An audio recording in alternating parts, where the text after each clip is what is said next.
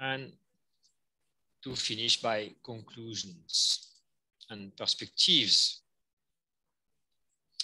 So, okay, go on now, recall some basic GST systems.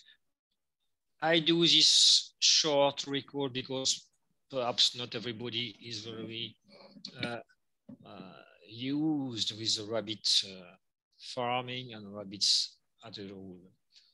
Uh, you see here the digestive systems with the upper part, stomach, small intestine, and so on, liver, pancreas. It's similar functions like for monogastric animal, like the poultry or pig, for example.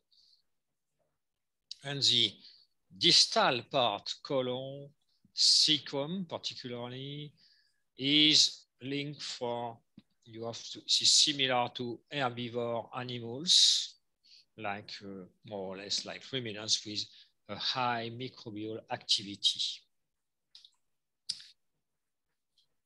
Just this recall about the general digestions.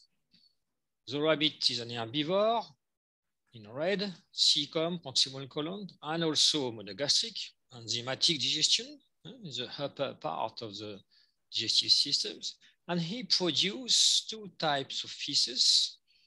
One hard feces that you, you see very easily that are rejected, and another type of feces that are the cecotroph that are recycled and ingested totally by the rabbits. This about, you see for an intake of 130 gram per day of pelleted feed, you have more or less 40 gram rejections and 25 gram which is recycled and ingested by the rabbit. So we will look at this global uh, design. You see here more or less um, the all the digestions is working for the rabbit with stomach, small intestine, and cecum, the microbial digestion in the cecum, enzymatic digestions in intestine and stomach and the importance of the cecotrophs and the cecotrophy. And for example, a good uh, digestion is similar to have a good production, production of energy for maintenance, but also for production of growth, muscle, tissues, production of milk, or pregnancy of or fur, sometimes depending of the breed of the rabbits.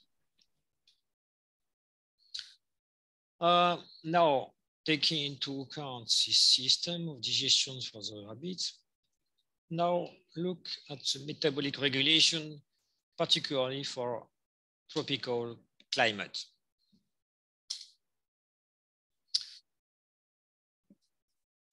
Globally, tropical climate is depending also of the regions, but two seasons more or less, depending, depending on where you are.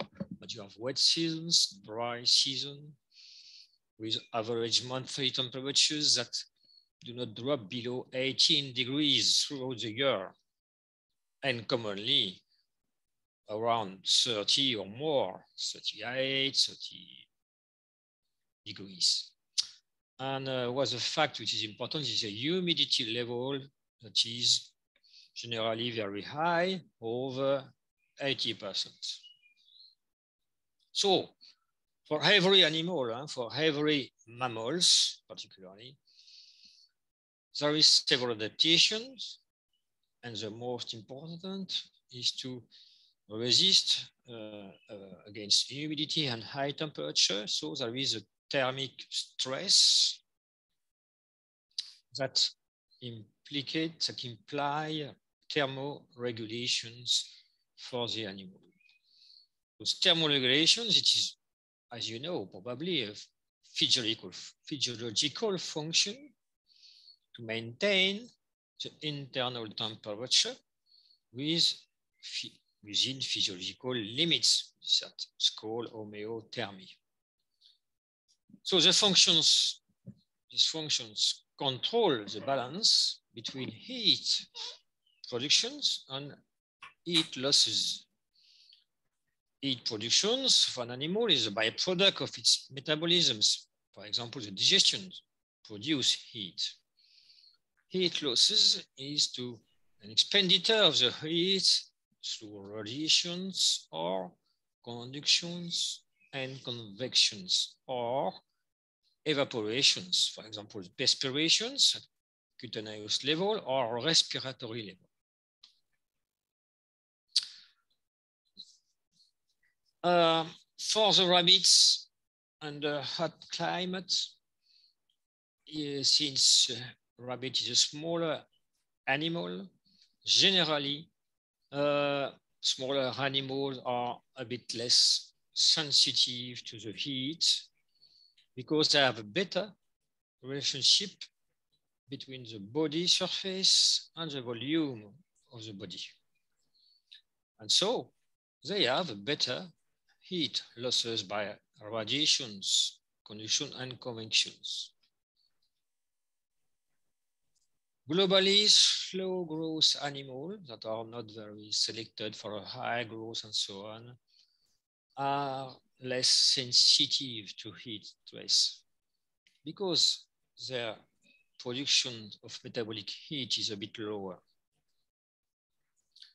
So one adaptation to heat, a morphological adaptation to heat is to enlarging the surface of exchange for example, for the rabbits, one uh, surface of action is the hairs.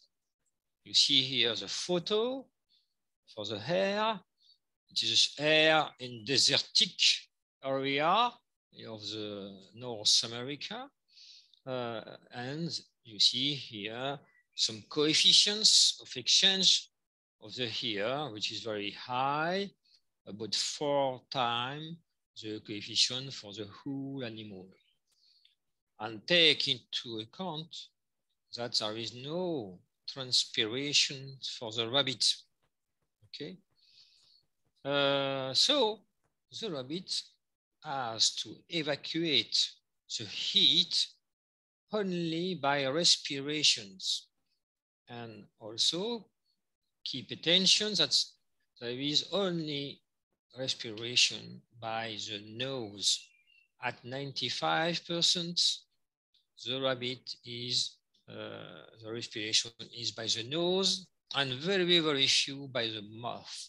Okay, contrary to a dog, for example, that evacuate many heat by respiration by the mouth.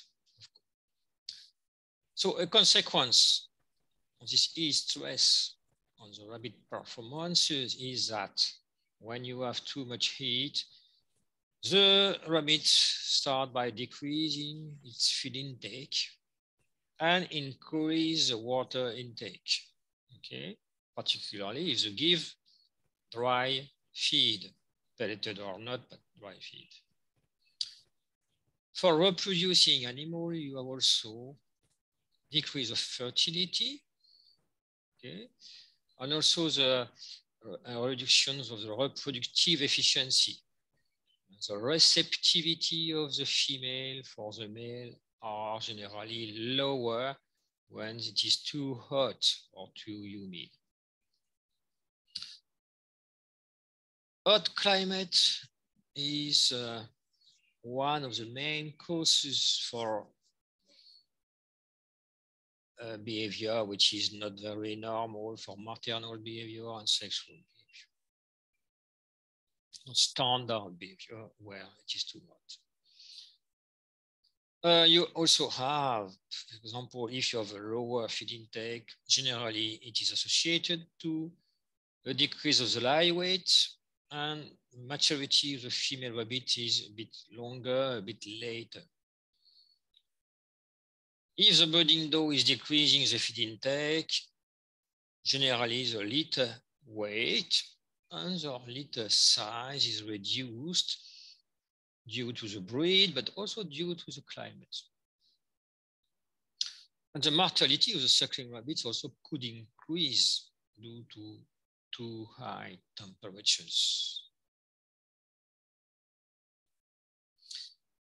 Um, here is a schematic presentation of heat production and energy intake. You can find some of these uh, curves in the book Rabbit Nutrition. And you have uh, possibility to download this book, Rabbit Nutrition, on the website of the World Rabbit Science Association. Uh, so you see here um, that you have on the axis X temperatures and energy on the axis Y.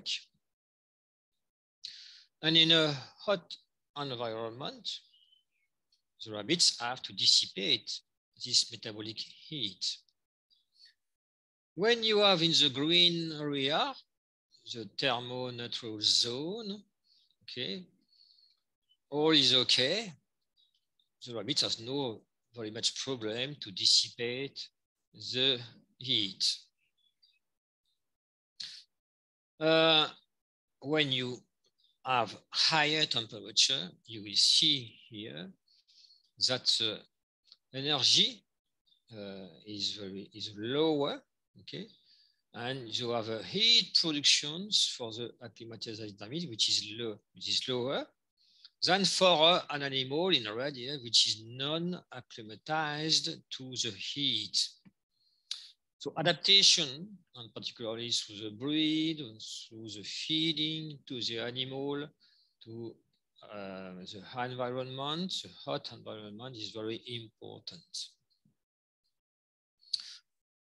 Uh, one of the way to dissipate metabolic heat for the rabbits is to use uh, the skin vasodilatation. Okay, it is a, a procedure which is less expensive than uh, the, the, least expensive procedure uh, compared to heat, and particularly the skin dilatation uh, for the ears, for example. And also, we can uh, use a decrease of feed intake to decrease the heat increment. And also, the third way is to try to evaporate some water by the respirations, hot water to dissipate heat. Okay. Other adaptation to hot environment are uh, behavioral uh, adaptations. For example, a lower activity or laying down or activity during the fresh period, for example, during the night. You can have so digestive adaptations, lower intake, but also better, better feed efficiency. Uh, one of the way to produce heat uh, with digestions, this is protein accretions produce more metabolic heat than lipids. So when you formulate, maybe look at the correct level of protein, not excess of protein. Also, uh, since energy efficiency for protein body deposit is 70 to 83% for lipids. So the nutritional recommendations is to increase a bit the lipid content of the feeds if it is possible when you have a hot environment. Uh, it is possible when you are using pelleting feed with a mix of ingredients and you can so that formulate more precisely to try to fight again the hot environment. But there is uh, two key points in rabbit nutrition for a farmer and for technicians that look at the farmer is to look particularly to the breeding doe and the management of the body energetic reserve of this breeding doe along all the career of in, in accordance with productive levels. That means that for a breeding doe having a low productive level, there are no many uh, problems. For breeding doe having a high productive level with high litter size and also a reproduction rate which is quite intensive, you have to supply very good uh, feeding and to be sure that the feed intake and the water intake is very good for this doe. And for the fattening rabbits, you have to go to, to, to, to, to look particularly to a good balance for fiber intake compared to the energetic intake to obtain an optimal growth. We will look more in detail at these points just after.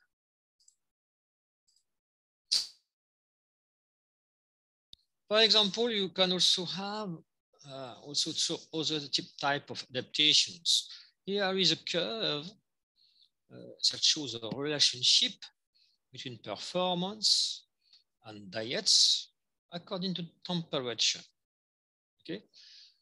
For example, uh, temperature is in the X, performance is the growth, for example, uh, on the Y axis you see here that the, curve B, the response to the diet B, the diet B is always higher than A diet because this means this is a difference in the formulations. For example, for the same temperature, the A diet give a lower performance than the B diet. This means that probably for the same temperature, that is a polymer energy in amino acid supplies or vitamins and so on. But you can also look also at the B and C curve. With the same temperature, we have the same performance, but for high temperature, you have a response to diet C that was for high temperature a bit higher than B diet for such under extreme conditions. This means that the formulation was adapted to the high temperature, particularly uh, for the C diet. So it's possible also to uh, improve the resistance of animal to the hot uh, and uh, tropical conditions, for example, through the feeds. This is some example here of studies that were performed and that show the adaptation of the rabbit to uh, high temperatures. Remember one thing that if you use pelleted feed, dry feed, or flour, if you do not provide a good water supply, this means that your feed intake will stop within one day. It's very important if you use dry feed to look at the quality and the quantity of the water. Just here below, you have standard regulation of intake and excretion for adult rabbit with three different temperature. And you will see on the right column, written in red, that the water feed intake is increasing a lot for 30, 32 degrees. You see the ratio is about eight, three times higher that than in 25 degrees. Also, the water to feces, the excretion is also higher, of course, and the urine is higher. So you go higher in temperature, 35 degrees or more, the ratio will be higher. Here is an intake regulation for the breeding doe that were fed pelleted feeds. It is dry feeds, only 10% or 11% of humidity in these feeds, 90% dry matter. And this is a comparison respect to a group of animals that was housed in 23 degree environment.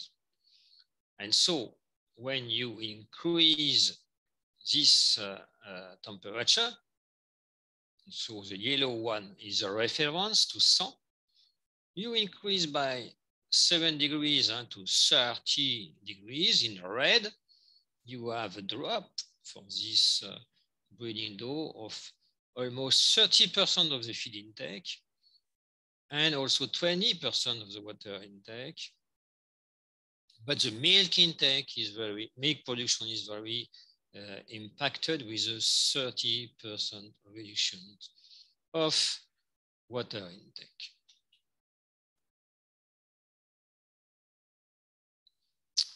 So for the breeding doe, when you see here, it is uh, some other uh, figures for the rabbit. It is for breeding doe, that is uh, milking doe, milking doe in 80 degrees uh, environment, that is uh, homeothermic for the rabbit. The pellet intake is very high and very high for European breed uh, of rabbit doe. As you see, the pellet intake is about 400 grams per day, sometimes higher depending on the conditions. But for the same animals, by with 30 degrees, we have only 300 grams of intake. Okay. Again, caution to water, solid feed intake, dry feed intake impose a good water quality and quantity. You see the water intake here for 400 grams is about 800 grams milliliter of water per day. Okay, some though are eating for 450 grams of pellets, so they drink more or less one liter per day. Okay, in tropical condition, for effectively, this figure will be lower, but anyway, look at the water. Here is some figures for fattening rabbits.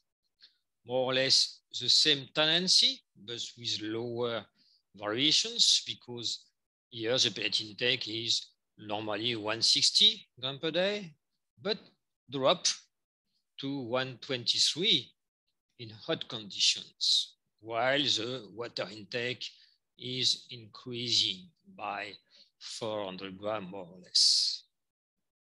And you see the weight gain, seven, 37 gram per day and only 25 uh, weight, gram per day of weight gain. That means the rabbits resist more easily to the fresh temperature than for the hot temperature.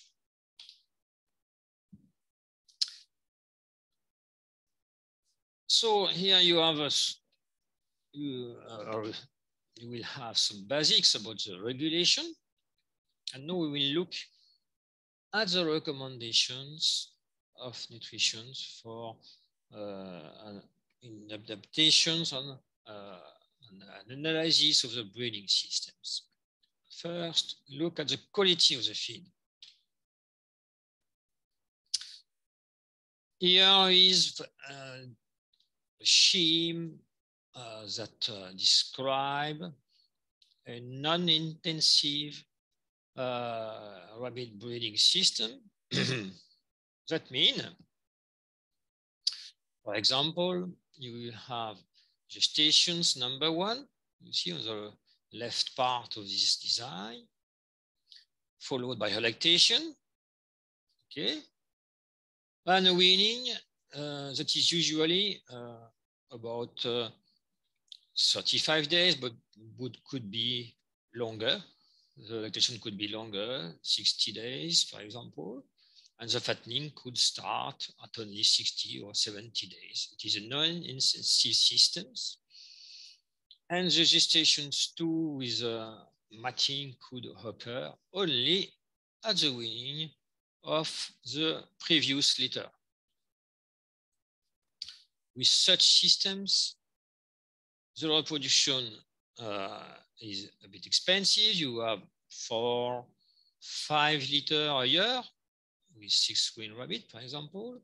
And the growth of this non-intensive system is not uh, very, very high, but correct, at uh, around 25 grams per day to reach, for example, a live weight of 2.3 kilo at 100 days. These systems are used also in Europe, huh, in depending on the farming system. For example, for organic uh, rabbit farming, we have such systems more or less. The income costs are low, low cost of feed, low cost for prophylaxis, or low cost for renewing the livestock.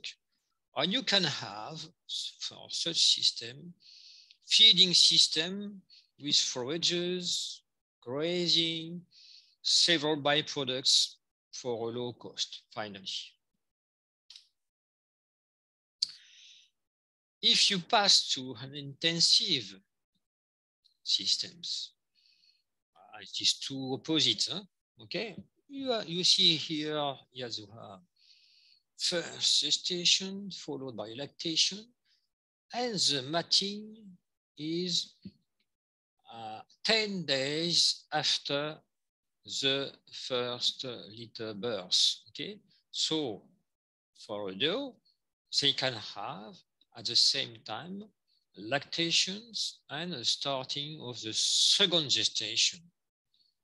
Okay, and so second lactation and so on. So you can have much more intensive reproduction rate with a fattening, for example, every six weeks.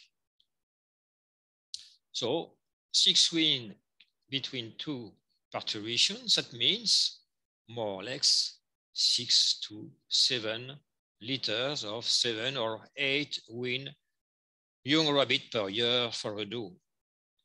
With such intensive system, it is quite common in European uh, uh, area for in France, in Spain, Italy, and one doe is able to produce more or less 50 rabbits per year.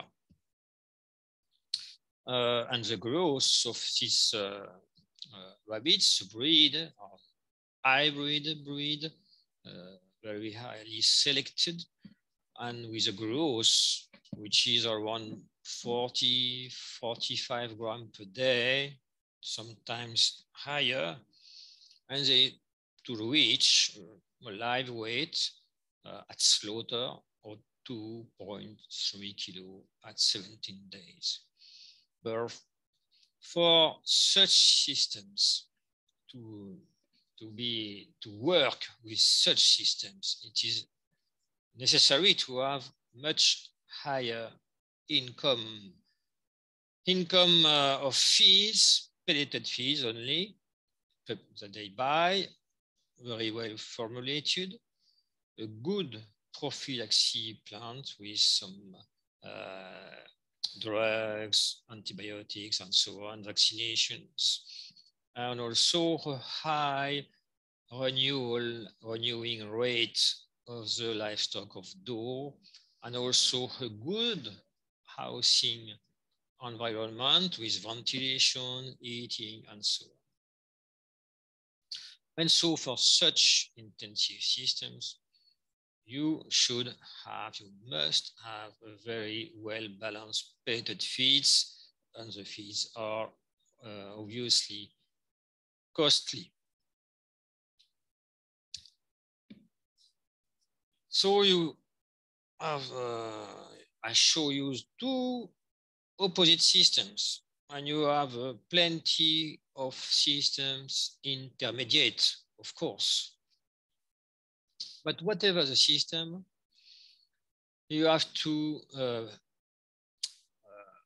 supply uh, energy, protein, uh, etc. for the different function of the rabbits. Mm. So you have to respond to several classes of needs. you see maintenance, gestation, lactation, depending on the litter size, of course. Growth also that depend temperature of systems for the thermal regulation and physical activity also, for example. You know that there are three basic nutrients, energy, protein, and also for the, the fiber, plus also uh, some other elements, vitamins, minerals, oligoelements.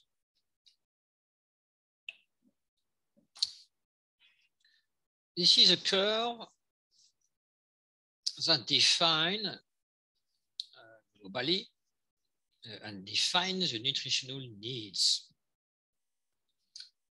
Uh, on the X uh, axis, you have the nutrient intake. For example, if you speak about lysine intake, okay? And on the left part, on the Y axis, of the performance. If you have not enough lysine intake, you are in carence, and the growth could be very low or null. Okay, here. Within a range, mid-range, you are here the optimal range in green, but you can have also an excess of amino acids. For example, for methionine, if you have excess of methionine, you are lower intake and lower performances.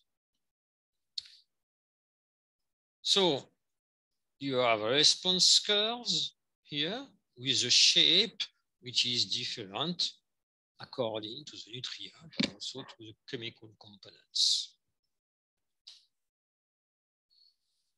So when you uh, recommend some uh, nutrients level and you adapt for formulation of feed. You have also to use safety margin. You see here an example of performance. And on the x-axis, it is supply in nutrient. The animal have a potential of productions for, for growth or for milk productions.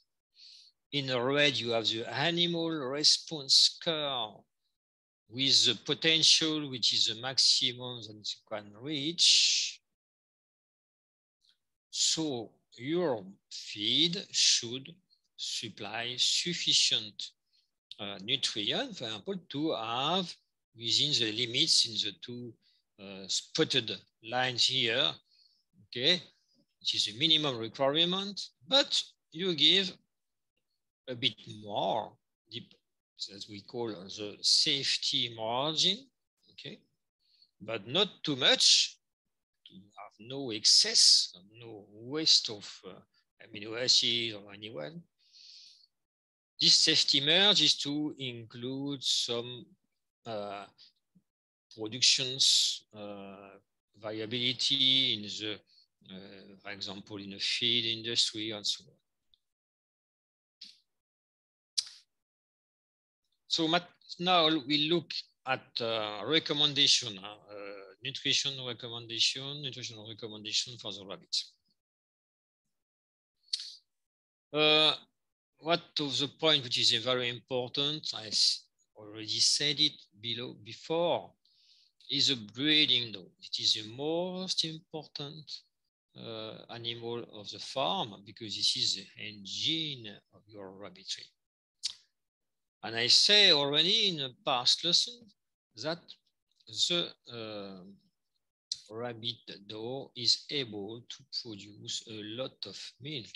See, compared to its live weight, she is able to produce 80 grams of milk per kilo of live weight and per day.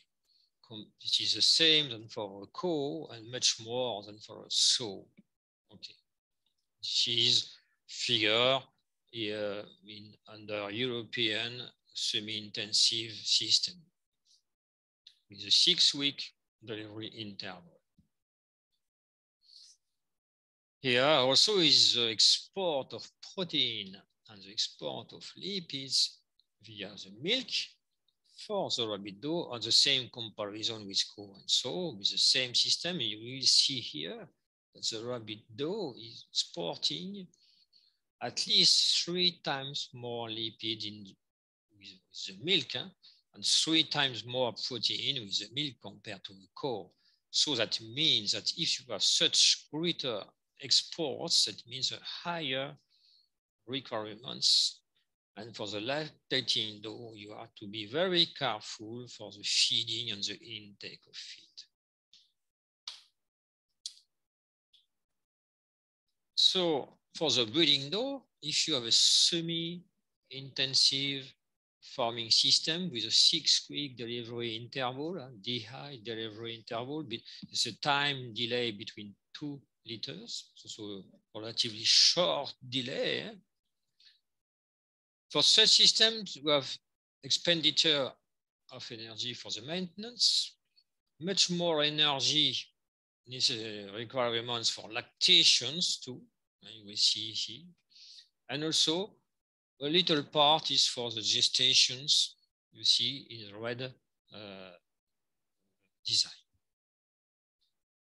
So be careful and the total requirements here with the maintenance, activity, and so on. You have a total requirement, which is a black curve you see here. So during the lactations and just after the birth, look very carefully to the feed intake of the rabbit doe, particularly if the doe have a high litter size of more. If you have at least uh, four or five rabbits, it is not so high, but if you have more than five kids, for example, from six to seven and even more kids, look even more to the intake of feed and also the water intake uh, if the feed is dry. Alors, that means that for European systems, such intensive systems, the intake is not sufficient to cover all the need of the rabbit doe when she is milking particularly. You will see the deficit here, which is uh, about 10% of the intake on energy is de deficit. And here we have a, a green area uh, when she is uh, when you are weaning the litter and when the, the, milking curve is uh, dropping, so the production of milk is reducing, the intake could be a bit higher than the needs, and so such systems, the doe is recovering energy uh, for the body condition. But if you have uh, an energy intake, for example, under hot climate when the intake is a bit lower, of course, the deficit could be larger. You will see here. And the uh, body conditions of the doe will be uh, very low and she could have even a, a loss of live weight. And this produce lower fertility and also could uh, uh, shorten the career with mortality on a higher culling rate and also higher mortality rate for the litters. So when you have such hot climate, be careful to have not too intensive systems, but maybe uh, a bit extensive rate of reproductions and not the reproduction rates we, we have in Europe, for example.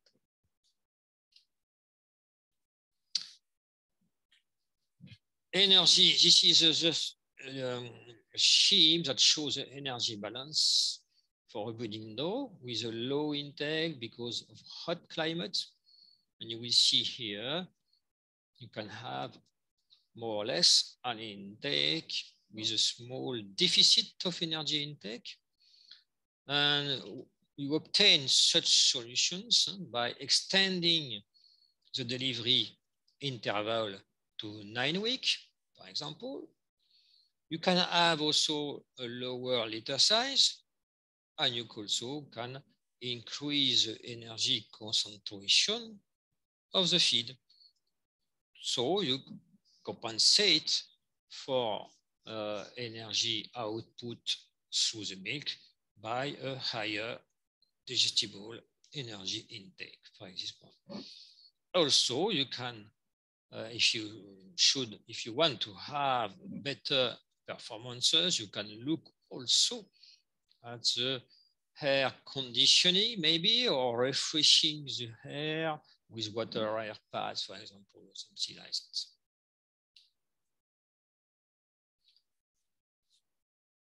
We come back again to this regulation of feed intake here for lactating does, for growing rabbits.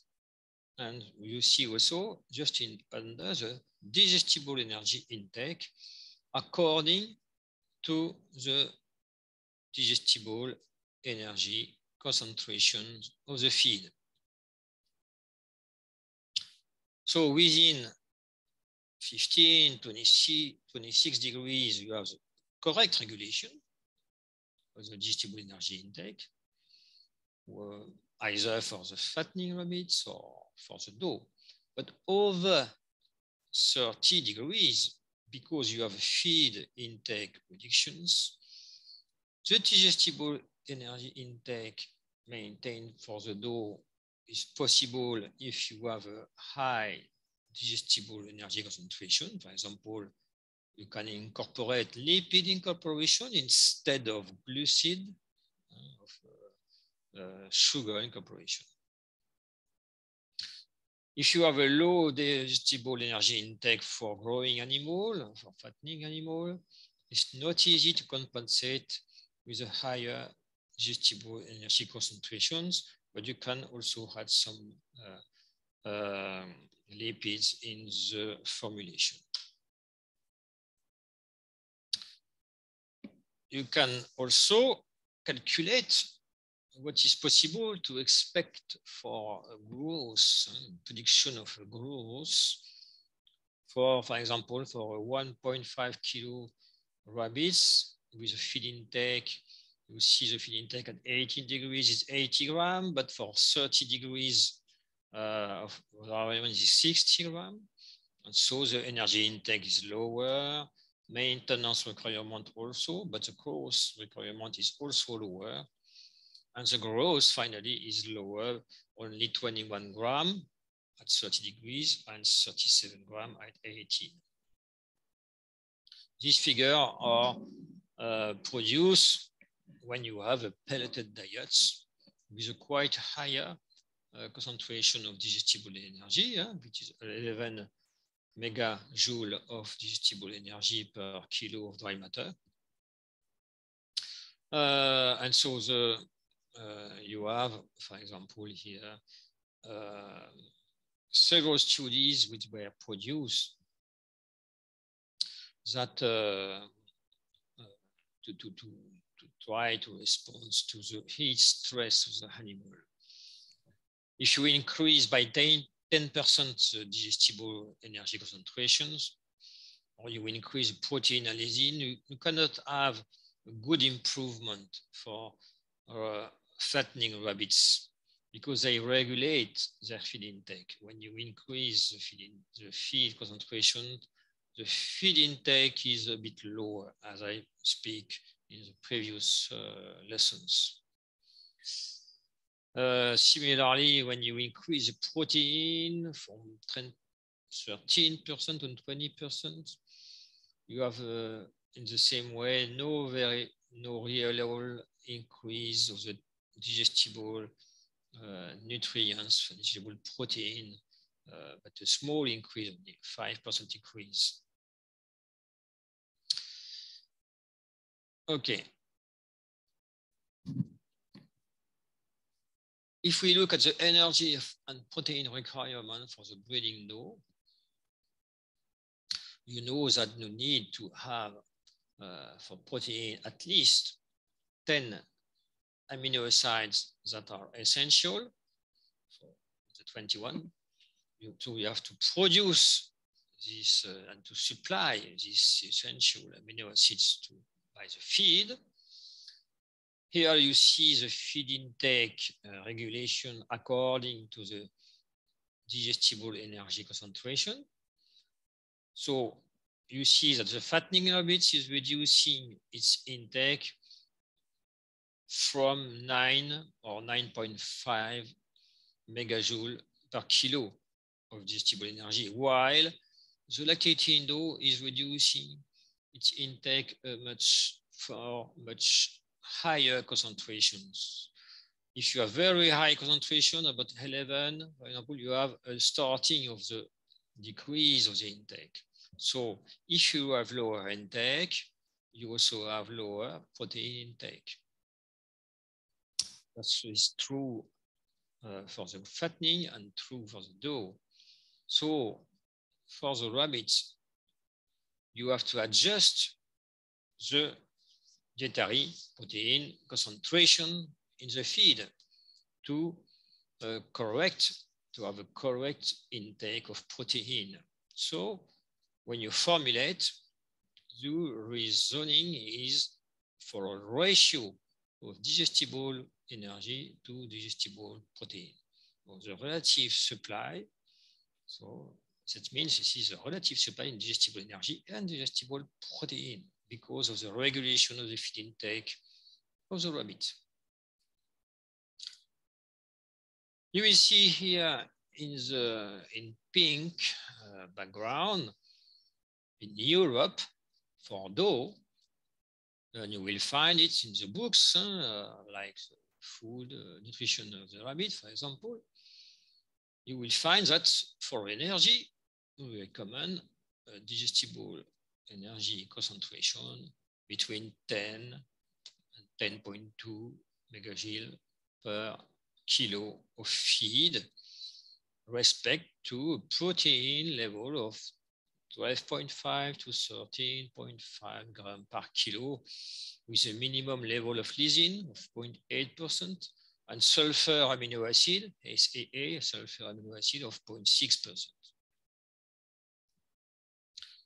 So uh, the good range for lactating doe, managed under six weeks delivery interval is to have uh, 11.5 to 12.5 gram per gram of digestible protein per megajoule of digestible energy. If you have a currency in protein, that means lower milk production of, uh, and also for effectively, obviously, a, a lower litter weight and also lower fertility for the next, next gestation. But also excess in protein means lower litter survival and lower prolificacy. So in the European condition, you have that. And for the doe, for the fatteners in Europe, the recommendations are a, bit different.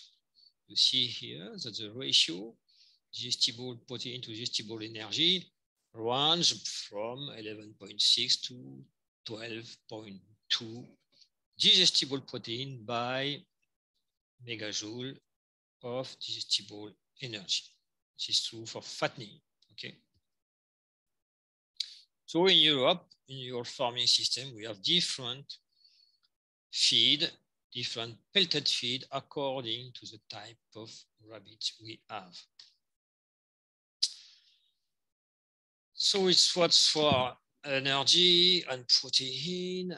Uh, if we look at the lipids, uh, there is no real minimum of lipids uh, to, to, to bring or to supply because naturally the ingredients of the diets give sufficiently lipids. But it may be necessary, particularly for the breeding doe, to enrich the digestible energy content. And it's possible to enrich by, particularly if you are a hot environment. For example, you can use uh, rice bran, uh, whether dehydrated or not. If it's not dehulled, it's particularly more rich in energy. You can also use meal obtained by simple pressure uh, with eight to nine lipids in coconut or palm kernel meal, for example. And also for the rabbits, and particularly for the fatteners, I already speak about this point in my past course, but you have to look to the fiber recommendation because the rabbit is an herbivore. For the breeding doe, even for the breeding doe, you should have over 15% of acid detergent fiber, or more or less is similar than 15% crude fiber. A Occurrence means higher risk of digestive problems for the doe. Excess of fiber means that you have a lower digestible energy content, so you can have lower performances, but no more, no problems of S, of mortality or something like that. Only lower performance.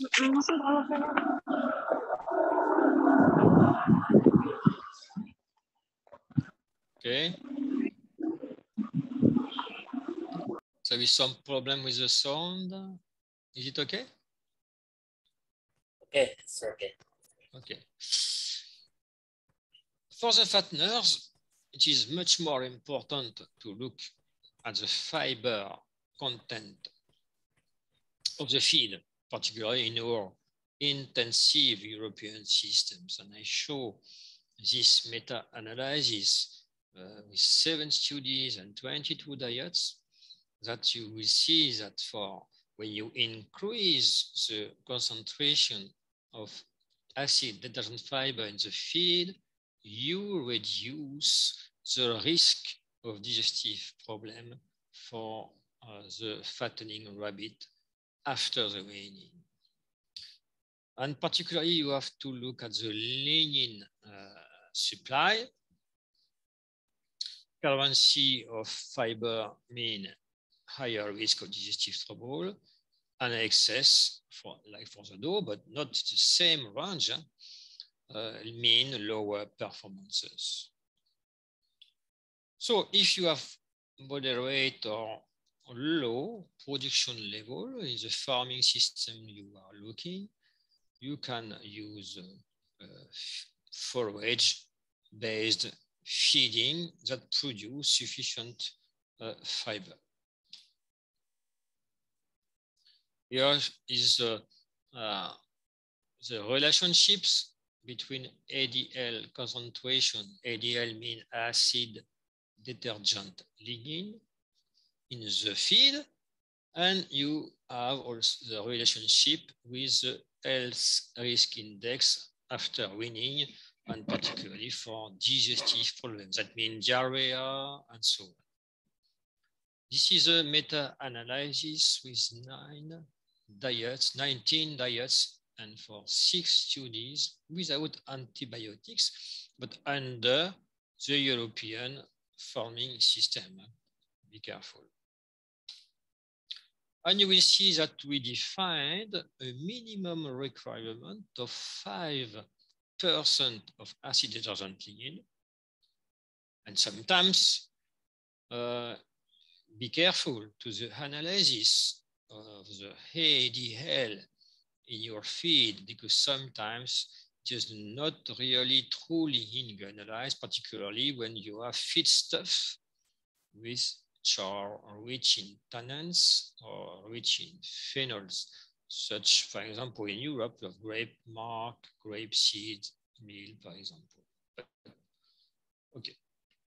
So the good relationship with fiber and health risks. Fiber for health because we have an herbivorous animal. Um, when you look at requirements and feeding strategy, you have to look to uh, minerals and vitamins, and particularly when you are during the lactation. You have high requirement of calcium. You see here, more or less 11 to 13 gram per kilo feed is necessary. You have to have also phosphor and a good ratio, phosphor to calcium. Vitamins also uh, is important. You can have in various ingredients, in green fodder, in cereal, in cakes, and so on. Uh, yeah. Remember that for uh, fat-soluble vitamins, you have to provide them, the vitamins A, D, E, and K, and beware the excess, for example, the hypervitaminosis for D and for A. And uh, for water soluble vitamins, you have not to supply these vitamins because by the feed, because they are supplied by the cecotrophy, thanks to cecal microbiota activity. So you can find such recommendation in the books and tables already. And when you buy uh, pelleted feed, the uh, factory prepares the feed with a mix of uh, these mineral and vitamins that we call pre-mix. And there are specific premix for the rabbits that are very different for the premix that are used for poultry or for ruminants. And particularly, the premix contain frequently some coccidiostatics or drug and beware this coccidiostatic should be specific for the rabbit. Do not buy a premix cell for poultry to use it to formulate uh, rabbit feeds. Just a look at uh, a review of the main requirements for rabbits, but under intensive European production systems. Okay, is to reach optimal performances for hybrid lines of rabbits under optimized housing conditions with a climate which is quite temperate, sometimes hot in the summer for all regions, but not so humid okay, than in tropical conditions. So to be to have quite a, a summary, remember that uh, hot climates limits the duration of the breeding season of rabbits. A breeding doe able to produce seven liter a year in a thermoneutral zone like Europe will give only five to four to five liter in hot climate. Rose performances also more or less under tropics are a bit lower and range depending on the feeding system, also on feeding and housing and so on, but could run from 20, 25 or 30 grams a day, while we have 40, 50 grams.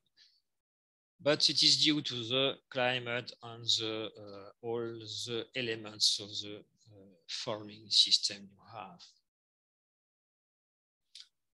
Remember that production level is uh, implying nutrition, nutritional need. So high production level high and balanced recommendation you need with, so you have to ask which breed, which line of rabbits I use. Uh, I have to look at the climatic regulation or air conditions to obtain such high production. So that means that you have elevated costs and also costs for pelleting the feed. So in brief, if you want to copy and paste the European conditions, you have to be very, very careful. Uh, you can have also some other systems with medium production level wanted. Uh, for example, you can use pelleted feed or even feed under a floor presentation.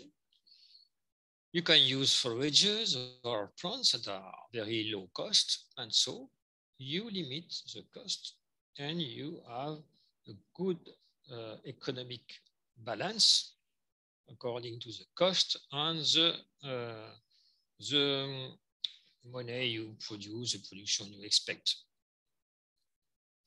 You can have with rabbit also much moderate production level with only plants or forage or byproducts, household wastes and so on.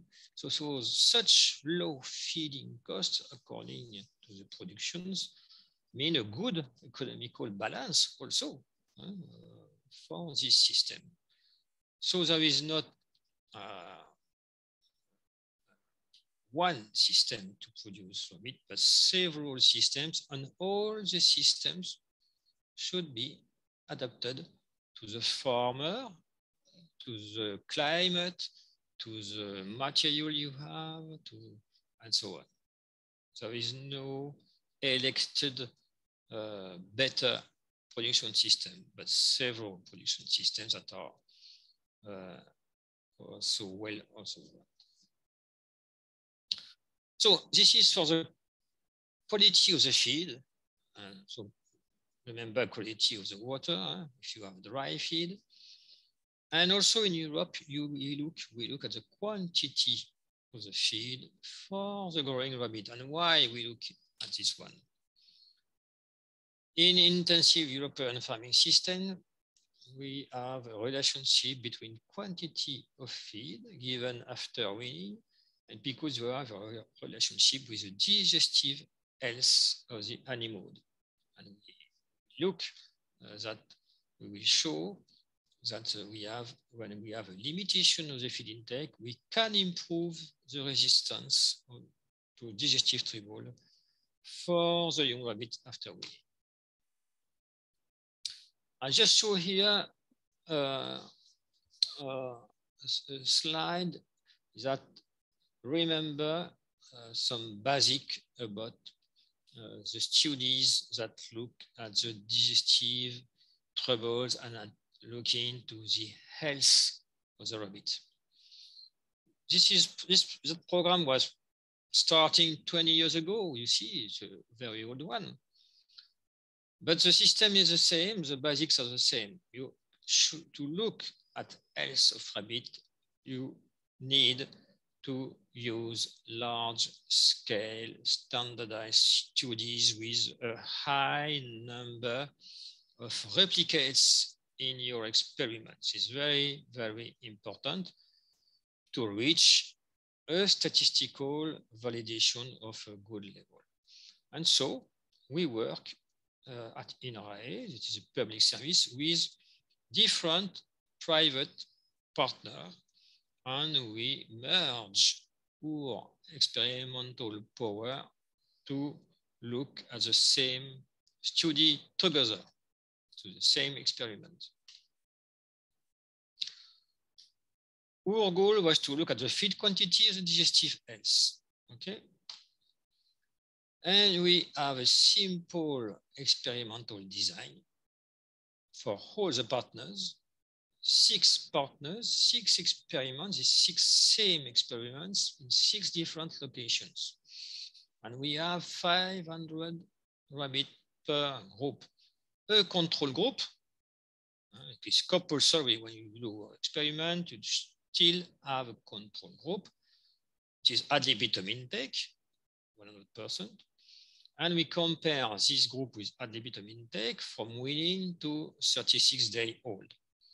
And we have another group with 80% intake level compared to ad libitum.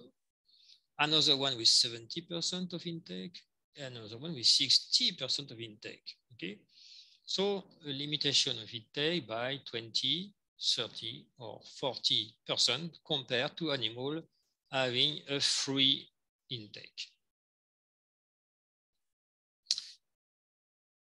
Okay, this is a manual distribution. And we look at the morbidity, animals that have problems of diarrhea, but still alive. And during the restriction, we will see that when we restrict the animal by 30, yes, by 30 or 40%, we divide by two the morbidity rate compared to the animals. Okay. Uh, mortality, uh, sorry. Uh, one. Also, we look also the mortality when animals were inoculated by uh, um, specific inocula of ERE. That means uh, episodic rabbit enteropathy? And when we restrict the animal, we see that the animal were more, particularly in the pink the pink curve, they are more resistant to this inoculation, okay, compared to free intake. Uh, and during resection, also it's possible to reduce the mortality. And here it is a literature meta-analysis. You will see six studies, and for all six studies, there were a reduction of the mortality uh, compared to ad libitum level, which is here 100% on the X basis. So a favorable impact of feed intake limitation for all the studies and for, I repeat, uh, for the European intensive system. We don't know exactly what is the mechanisms implicated in this better S when you reduce the uh, intake. Uh, maybe a better immune status, but we are only one study on this point. Maybe other physiological parameters. We look at microbial activity, but we don't see any significant effect. The bacterial community is quite the same. The mucosa morphology is quite the same, but we are still looking. Another important effect of the intake limitations and to limit the growth effectively. When you reduce the intake, you reduce the uh, growth, of course. This is uh, quite proportional. Feed intake reduction is proportional with weight gain reductions, but not exactly proportional.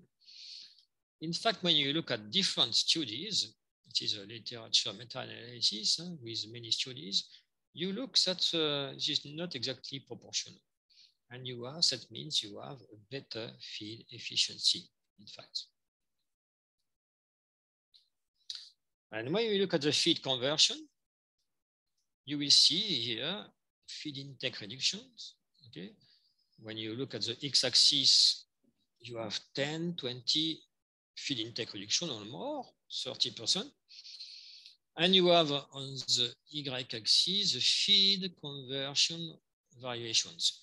If you have a reduction of the feed conversion, that means a better feed efficiency. Okay.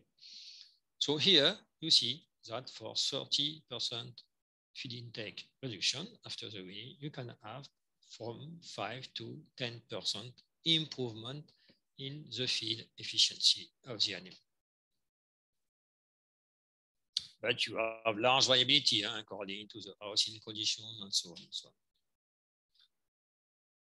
on. Uh, after limitation of feed intake, you can have a return and come back to the ad libitum feeding. Okay. Then after ad libitum feeding, you have also uh, quite a, an improvement, a compensatory growth after restriction by 10 to 40%, with here, you see here, a good improvement in weight gain and feed intake reduction. That means that finally, after, for example, three weeks of intake limitation, you have only a 5 to 10% lower final weight. So it's the not so much lower.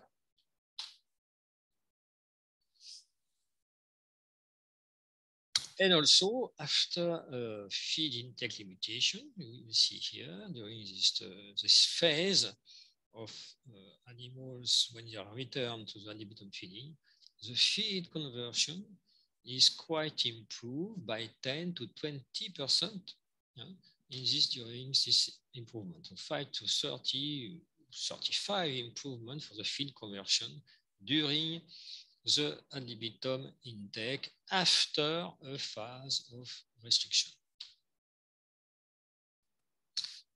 With the same figure, finally, for the whole fattening period, uh, under this intensive system, you can have 5 to 10%, 15% improvement of the feed conversion if you limit the intake. Uh, this is true uh, for, I repeat, for European uh, systems with high growth rate after the weaning.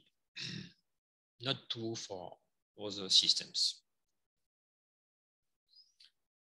I will pass uh, this figure because actually almost all rabbit farmers, uh, professional rabbit farmers in France are using a restriction strategy after the weaning because they reduce the mortality. You will see here, they can reduce the mortality from 8 to 3%. They reduce the slaughter weight, but finally, they, if, since they have more rabbits to sell, uh, the economical uh, expectation for the selling of the rabbits is the same. Huh?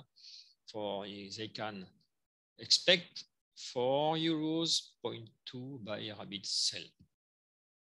But they spare money, okay, because the feed conversion, you will see here, the feed conversion is a bit lower. And so, since the animal consume less feed for the same growth rate, they have an economy of one of 20 sometimes 0.2 euro, 0.25 euro per rabbit cell. And the margin, finally, the margin of the feed cost for each rabbit cell is better uh, by almost uh, 0.25 euro per rabbit uh, when you use a restriction strategy. That's why every professional farmer use this system in their farm.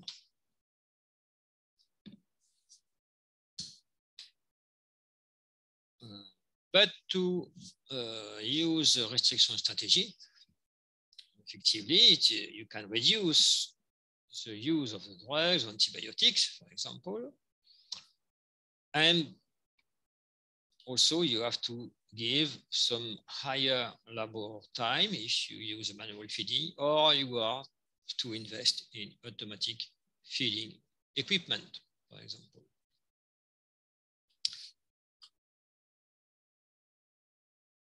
Uh, I will pass on this one because I already give it. Okay, I will show here some equipment used by uh, European professional rabbit farmer. It is automatic feed distribution chain. Okay, you see. They, they, they have a panel to control this automatic feed distribution. They pay for this equipment. For example, you see the farm here. And so they can give the quantity of, of uh, uh, feed they, they want to the animal. Now uh, we will uh, look at the feeding strategy at the farm level. Okay, what is feeding strategy?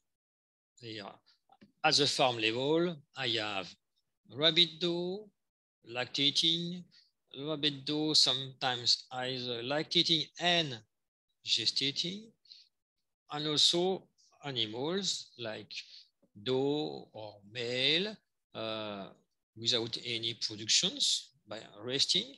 And I have also young animals.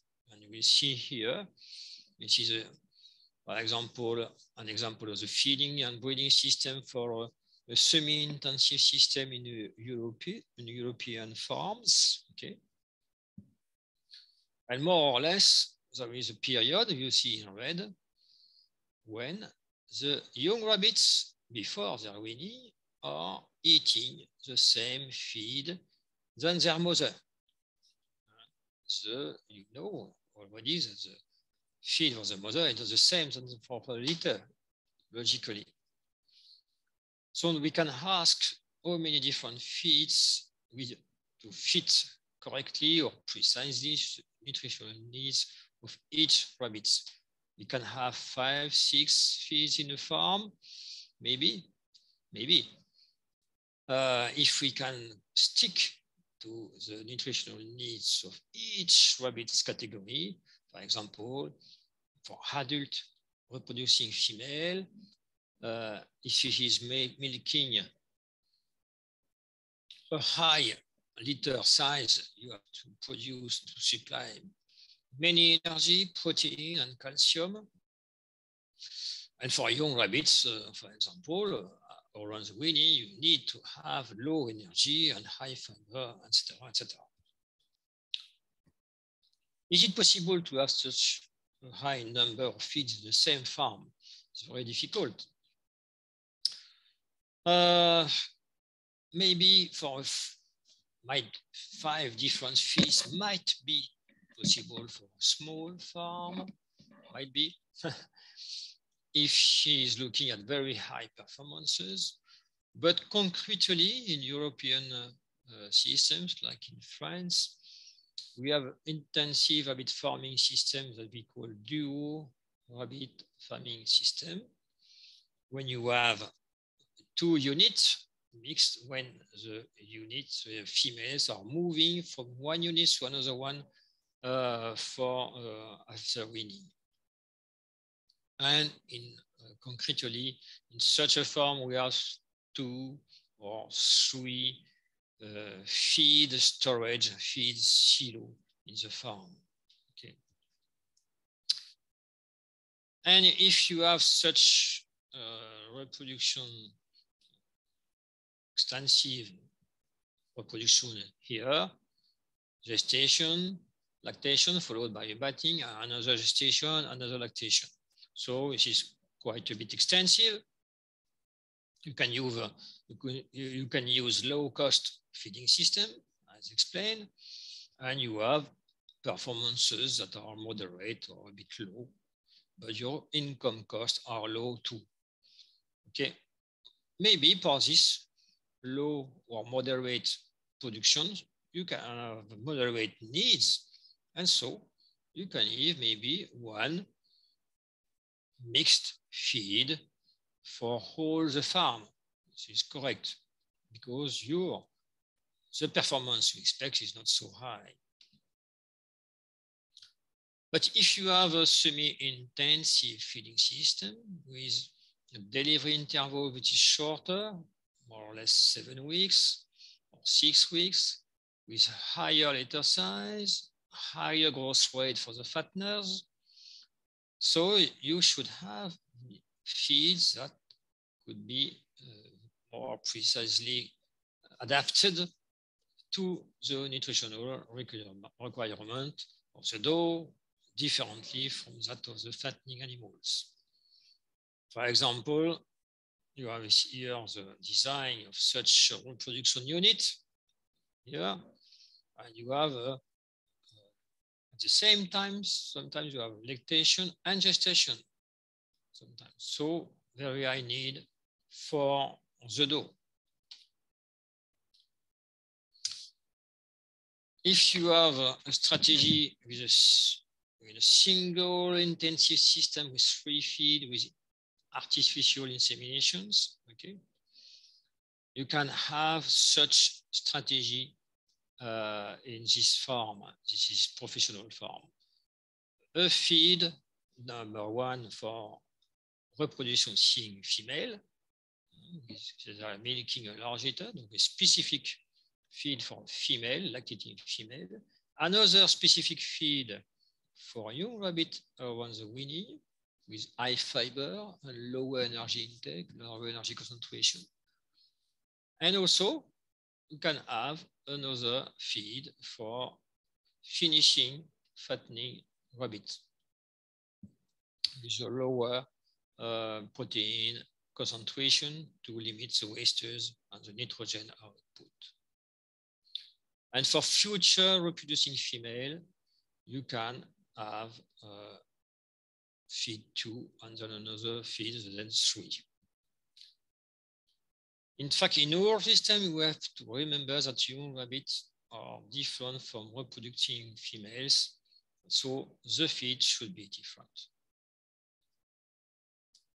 So we have to make a trade-off for female and youngs because they are in the same cage.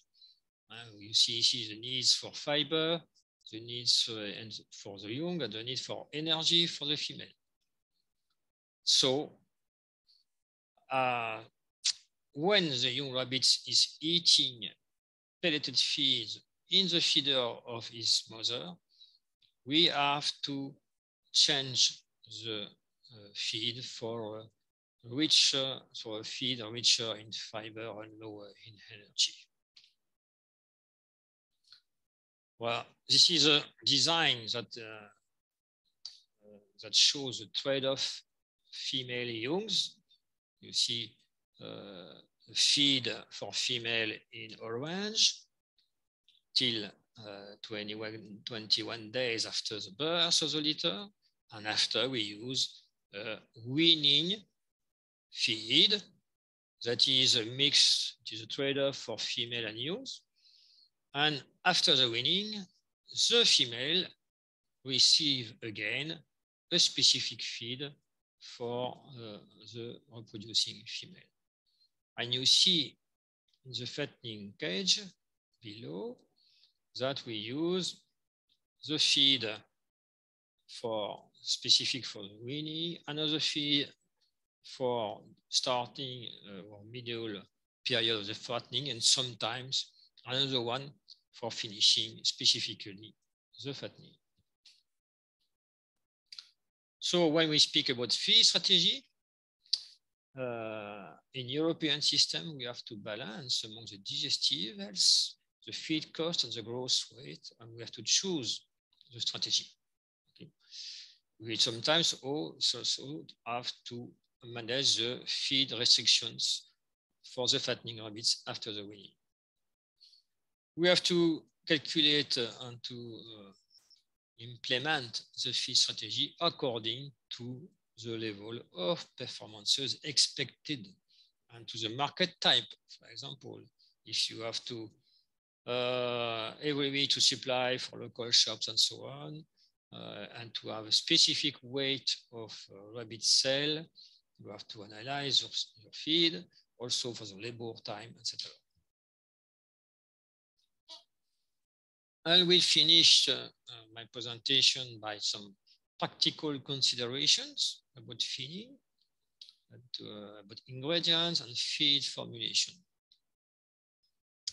So again, if you have high production level, you have obliged more or less to use pelleted feeds with an adequate Uh, vitamins and mineral premix and good formulations according to the type of rabbit, doe, fattening, more or less copy and paste the standard recommendation in the European books.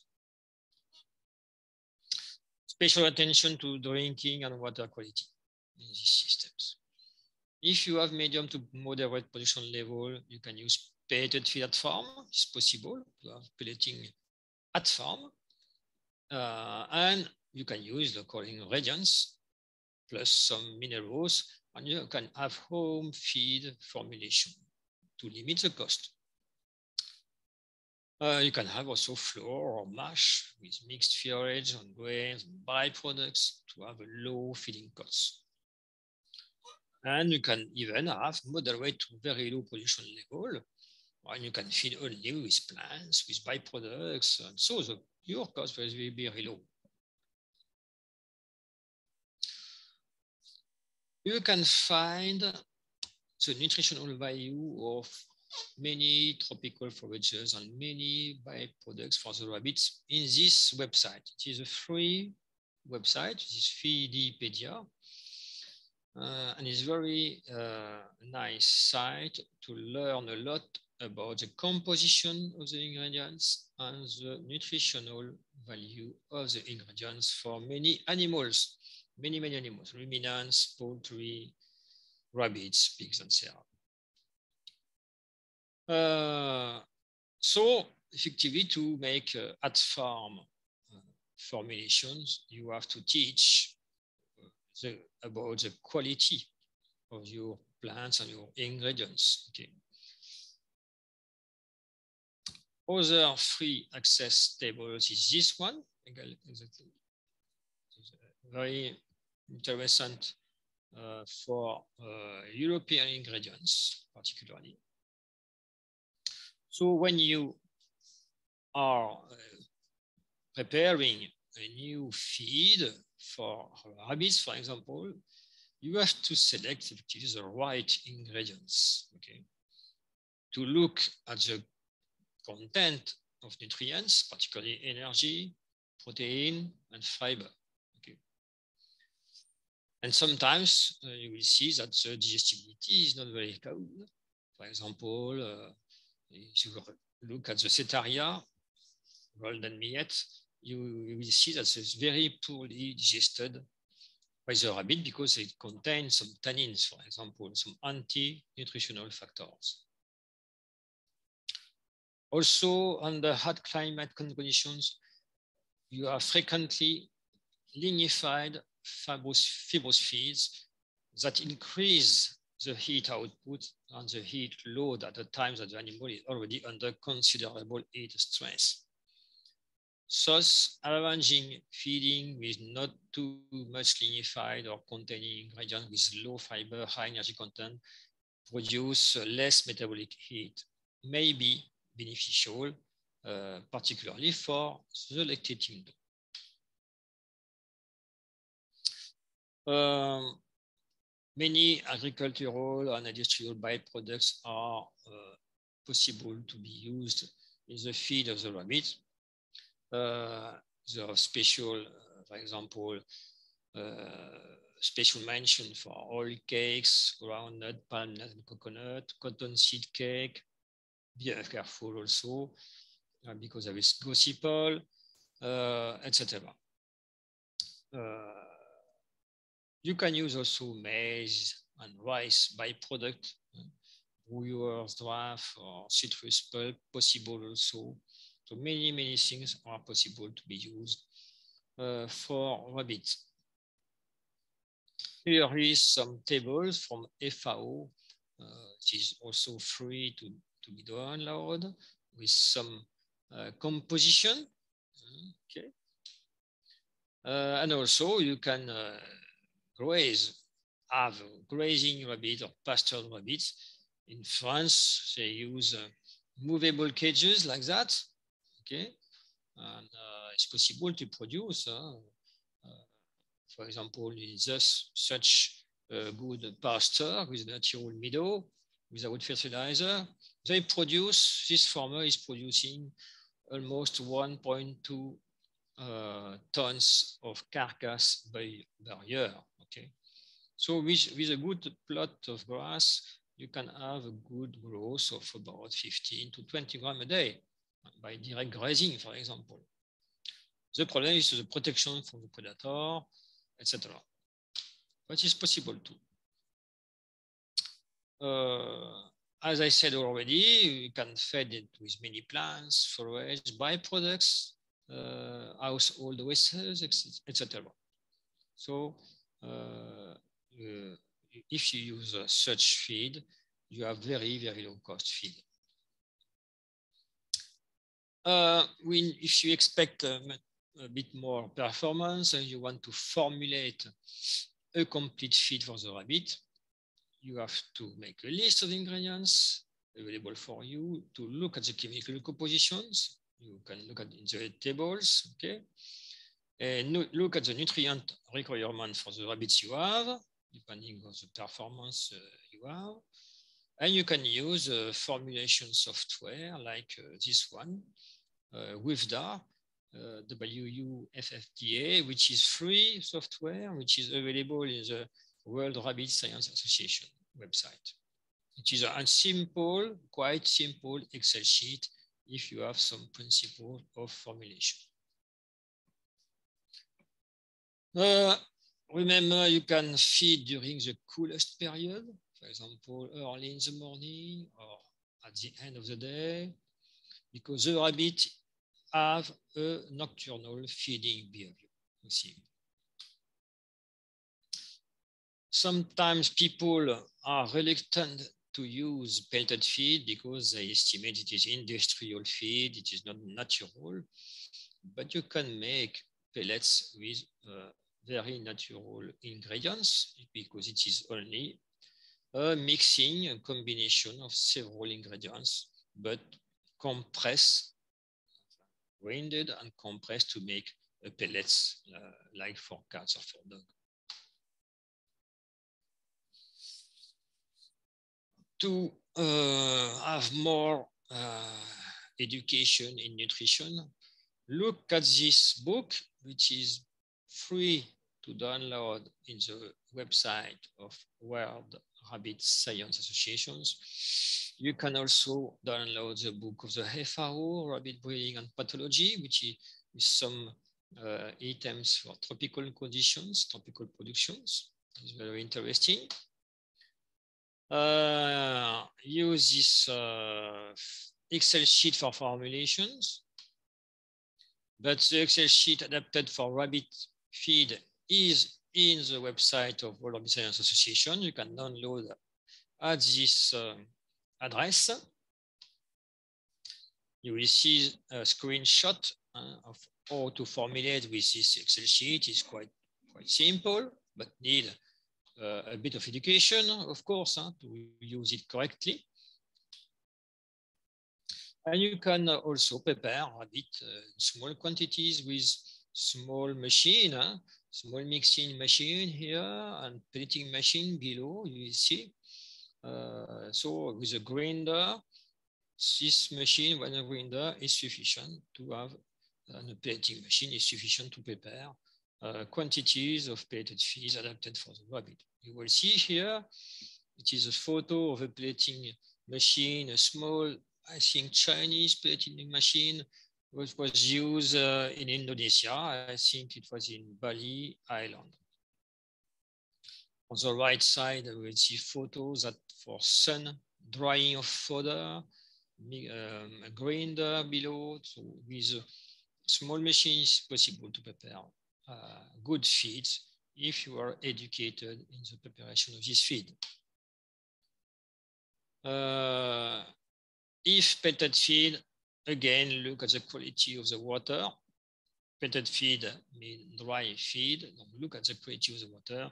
Here you see when you have too salted water, it is rounded in red. Too salted water means live weight reduction, for example and also feed intake reduction. So quality of the feed is important too, quality of the water. Um, to finish, uh, it needs, for example, further studies, further research for nutritional value of tropical forage and byproducts for the rabbits. But there is studies at this moment huh, in many countries, like in Indonesia, Malaysia, and so on, that look at these forages. Uh, technical assistance, rabbit breeders to develop their skill in field management is very important too. If you have a high or medium-sized rabbitry, teaching the feeding and setting ingredients and pelleting is important to, to, to, to meet the expectation for such a high size rabbitry in terms of economy. Extension program also to stimulate the rabbit farming, including backyard rabbitry, is very important too, I think, to produce uh, rabbit at a, house level, for example. And in many, many countries in the world, you have such outdoor rabbitry, forage-based feeding in the USA, but also in Africa, Ghana, Kenya, etc. You have many success, for example, in Kenya, uh, rabbit uh, productions. We see some photos. There are some uh, extract from the books with production of rabbit is very poor condition, but correctly producing for a family, okay, and alleviating the poverty, of course. It is examples of possible housing, okay, with uh, systems uh, for ventilation, natural ventilation, and so on. Uh, rabbit farming is very efficient for poverty alleviation uh, particularly if the breeders are gathering, are discussing in group and helping together, either for the feeding, like we see at the right side, or uh, helping together for selling the rabbit and presenting the rabbits for the, to the consumers. You see in various countries in the world. Again, uh, for the students and the teachers, look at this uh, website, the World Rabbit Science Associations, you have many, many uh, scientific documents, and particularly, you have the proceedings of the last World Rabbit Congress, which is which are freely available online at the website. And you have also the record of the presentation, and there are keynote people that are were very interesting uh, for those who want to be uh, more uh, to have more knowledge on, on rabbit sciences.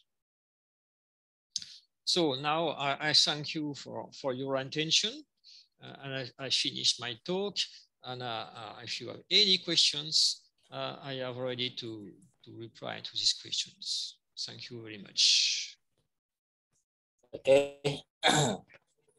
Thank you for the amazing lecture about fit. And now I would like to offer a chance for the audience who wants to ask question. Please, if any question.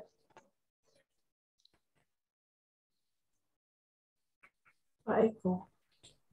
Michael. Nice.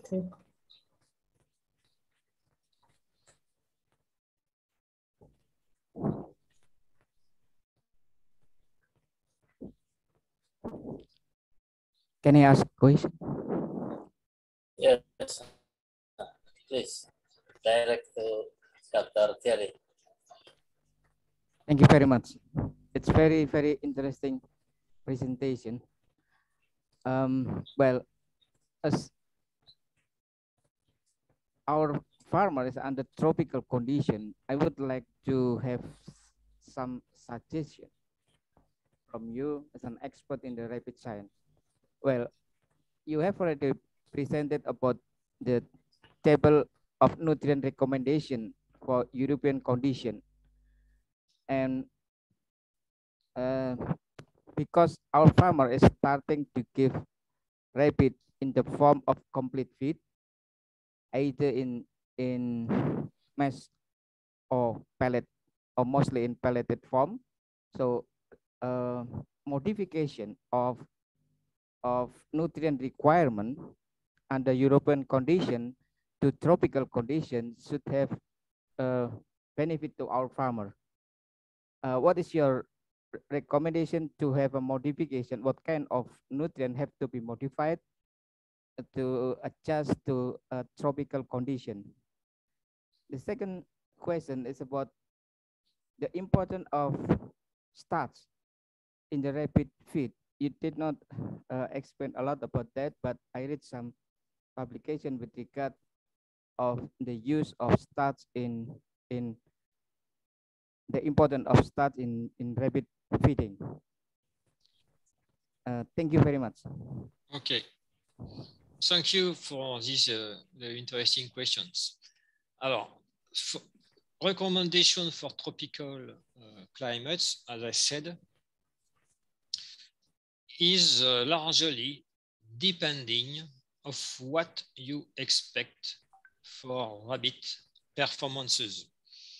If you are farmers that already have good performances, you have to measure these performances, huh? the number of liter per year, the number of kids per liter, the growth rate of the rabbits, you have to adjust uh, effectively the requirements or not, depending. For example, uh, all the requirements that are in the book are for European uh, farming with high performances and a high uh, reproductive rhythm.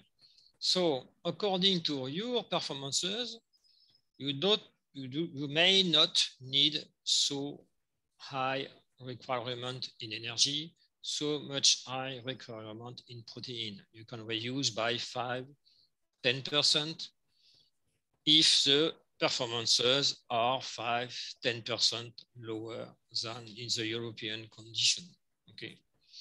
Even for very low, for uh, moderate production or backyard production, you can have a pelleted feed that are mixed with a minimum of, for example, 13% protein, etc you can reduce by 20, 20%, 30% even the content of energy.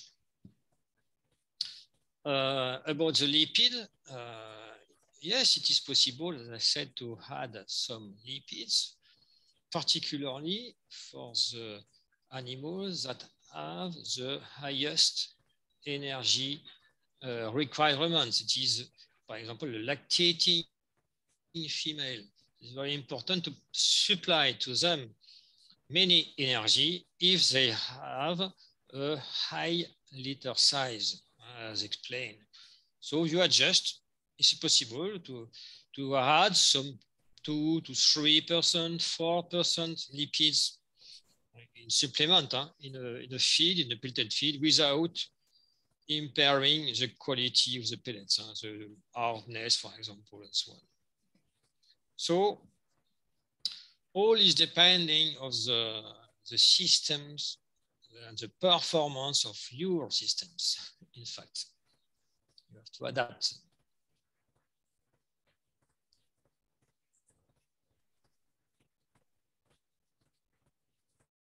Okay. Uh, any other questions? Please. Terima kasih. Ya. Saya berbahasa Indonesia ya. Baik. Terima kasih atas kesempatannya. Tadi saya cermati apa yang disampaikan Pak Eri tadi itu sangat menarik sekali. Tapi saya nggak tahu kenapa konsumsi air itu sebagai tolak ukur dalam beternak kelinci. Itu yang apa namanya yang ingin saya tanyakan, padahal uh, di dalam beternak kelinci itu memang benar air itu sebagai tolak ukur. Tetapi kenapa sebenarnya secara sains? Itu yang pertama. Kemudian yang kedua, kenapa pelepasan panas secara basah dan kering tidak diperhitungkan dalam penjelasan tadi. Jadi heat loss-nya itu tidak diperhatikan. Heat loss yang kering sama basah, dry sama wetnya itu tidak diperhitungkan. Kenapa? Nah, kemudian yang ketiga, sebenarnya produktivitas kelinci yang baik itu berapa sih? Dan bagaimana cara menghitungnya? Saya kira itu aja. Terima kasih.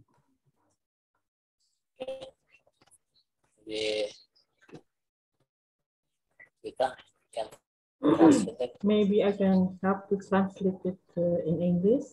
It's interesting uh, lecture, but there are three questions from Prof. Yunus. First is about uh, uh why the water the water drink by the animals is a, is a benchmark for the feeding rabbits, for uh, rabbit feeding. Why? No, so I repeat the question. Yeah. It is about Why- the water, the water supply. Yeah, water supply by the Okay. animal is a uh, veg- Rabbit uh, is a, so rabbit is a mammal. He, he need uh, a water supply similar to uh, ruminant, poultry, to pig, etc. So he need water, whatever. If you have uh, green forages or uh, plants or ingredients that are rich in water, it's possible to have a very low water supply. But if you use dry feed, pelleted feed, for example, which is very low in water, 10%, no more, it is obviously you need a very important supply of water of good quality. Look at the quality also. Uh, I- and I show that for a lactating doe, for example, uh, she is able to have 300 grams per day of dry pelleted feed. Can, she can take 300 grams. So you have to supply at least 700 grams of water. That means two thirds of a liter of water, admin, at least. So it's very important to, uh, if you have a dry feed, huh, to have good water uh, supply. Second question. The second one is uh, why didn't you include the dry heat loss and wet heat loss and explanation about the uh, thermal balance? Heat loss. Heat loss, What- dry about heat heat loss, loss? or wet, Yes. heat loss? Yes. Yes. Heat loss. Uh, yes, it is particularly important uh, in uh, effectively uh, in hot season. So the rabbit is able to lose heat through the ears, and he cannot lose a lot of heat through respiration because he respirates only by the nose. Okay, uh, and so in many conditions you have to give uh, ventilation, natural ventilation, for example, and to have, uh, if possible, dry feeds, feeds uh, which are very appetant, to try to improve uh, the feed intake of the rabbit because under hot condition, basically the rabbit is reducing by 10, 20%, even 30% the intake. This is particularly important for uh, lactating animals. And if you see lactating uh, doe that have a body weight loss when she is lactating, you have to be very careful about uh, water intake because during hot season, uh, water intake is higher and to, to give to the female very appetant feeds if possible. Okay, and the third one is uh, about uh, what is the parameter of good rabbit production actually? Parameters of daily good, production. Good, good, good rabbit production. Good. Rapid Iya, Pak Yunus, ya. productivity. Apa?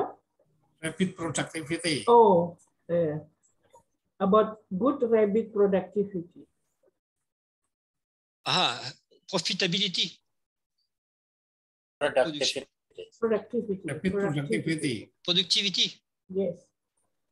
which is good?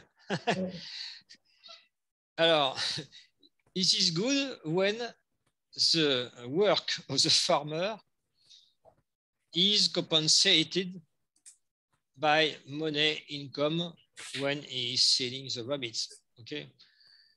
Uh, this is the economic balance that defines the good system. If uh, the income for producing rabbits are very high, for example, high income for vaccination, for antibiotics, high income for feeds, high income for cages, and so on. And you have a low production. So this low, low production, for, uh, obviously, uh, you cannot compensate for the high income. So a good system is when the production costs are largely compensated by the um, income cost, okay? So that the farmer could remunerate the time of labor, okay? Percent? So according to the farming system, intensive or semi-intensive or extensive, all the systems are good.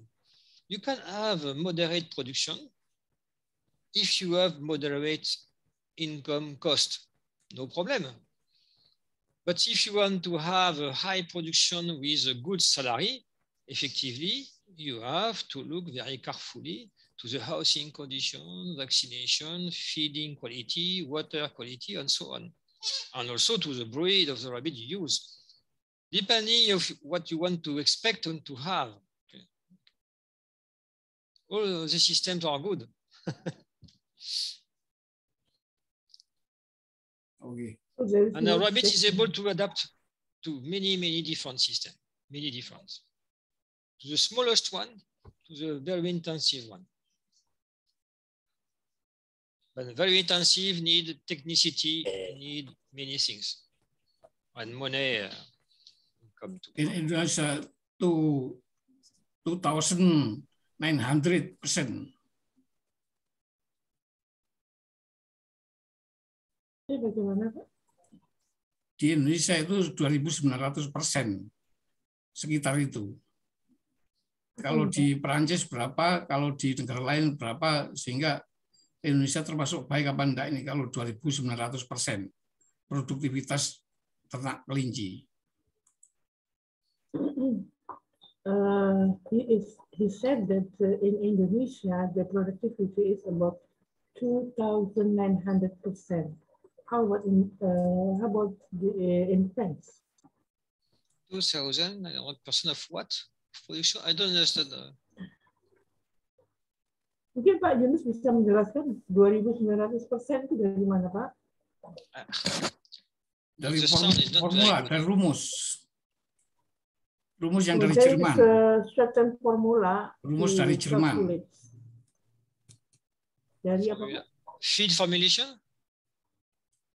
Jadi berat hidup, jumlah lahir, jumlah anak, kali bobot anak dalam satu tahun, kali persentase karkas, dibagi bobot induk, kali 100 persen. Ketemu adalah write it in, 2.900 eh, ya, Pak. persen. Mungkin bisa ditulis di chat Pak, di chat.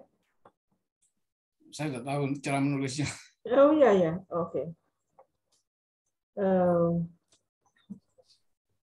he mentioned about the formula uh, tentang uh, by the life weight times Formula for the lactating?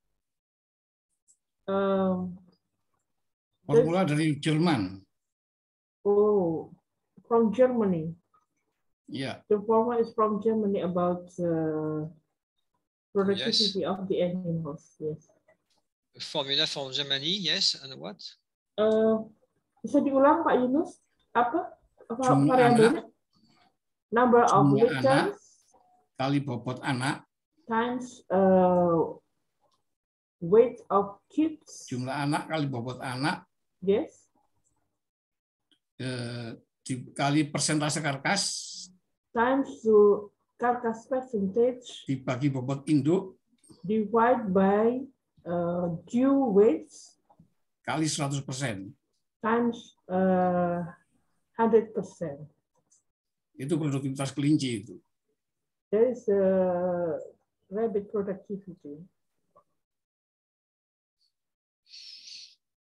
I am sorry, I, I have not understand the, the, the- the question correctly. Maybe by, if you return the question, in the discussion panel?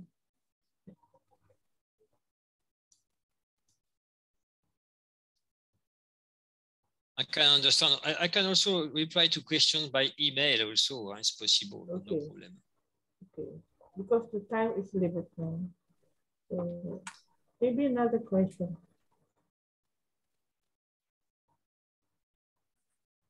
This is Rini or this is Henry? Is there Any question or students can ask asking also.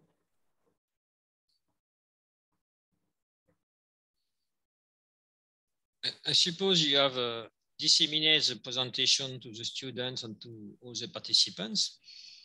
All, all people are free to use it as they want. If you, can reuse it for lessons, uh, I uh, invite you to read again the presentations.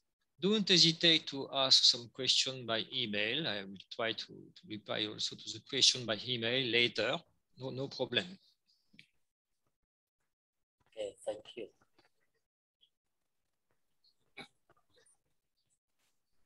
Apakah ada pertanyaan lagi? Oke. Sekira cukup ya. Oke. Uh, consider about the limit time.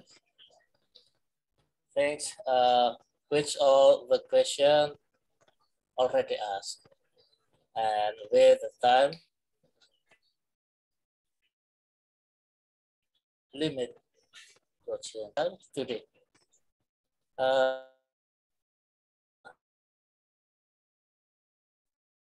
again, I appreciate the time and effort given by Dr. Thierry today to attend our guest lecture. Merci, you welcome. I hope today's session is beneficial to all of us. And with this, the future class is over. Good afternoon, and other audience are allowed to leave the Zoom meeting. Thank you all for your time and see you. Thank you. Uh, Thank you. Assalamualaikum warahmatullahi wabarakatuh. Thank you very much for, for your invitation. It was a, a very good, uh, very nice, high honor for me to, to present some things. Effectively, online lecture is not so easy than in presence uh, presentation, but uh, uh, maybe for the next time, uh, it will be more easy to present uh, such uh, topics more quite with uh, without time limitations, more more quiet and so on. Thank you very much again. okay, thank you. See you. Au revoir. Bye bye. Bye bye. Okay.